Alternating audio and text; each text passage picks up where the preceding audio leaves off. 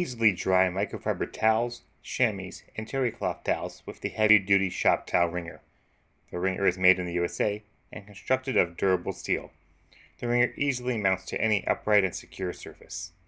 It features 12-inch composite rollers that can easily accommodate most towels, even those thick and plush microfiber ones. The powerful rollers do an excellent job of wringing out excess water from towels. To use, simply feed the towels into the rollers as you crank the handle. The pressure simply forces all of the moisture out of the towels. Repeat as necessary to continue using towels for drying.